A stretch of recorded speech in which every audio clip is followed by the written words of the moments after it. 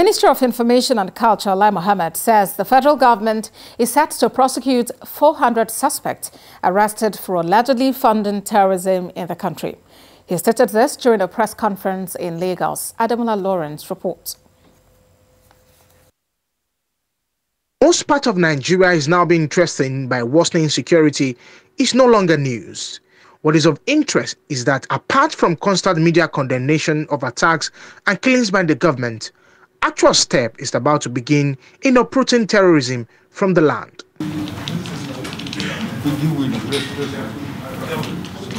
Part of what government is doing to convince the people that is serious to end the surge of insecurity is identifying, arresting and prosecuting those who fund the criminals.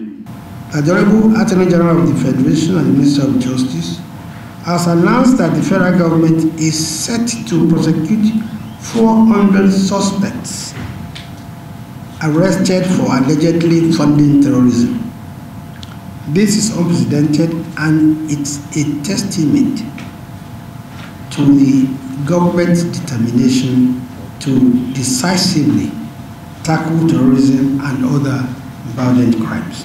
The minister also appealed to the media organizations not to support secessionist statements.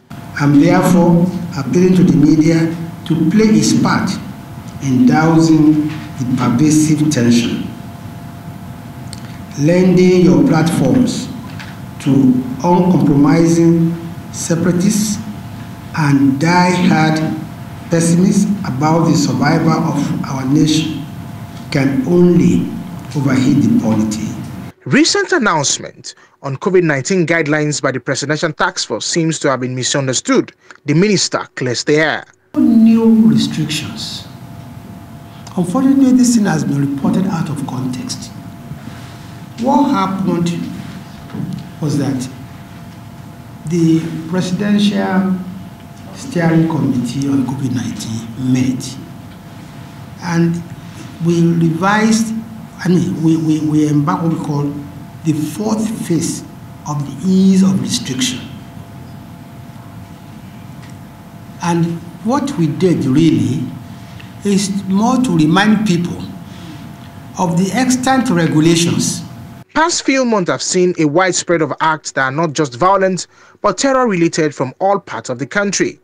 This is therefore time for government to act urgently and decisively before the country is overrun by terror. Ademola Lawrence, TVC News, Lagos.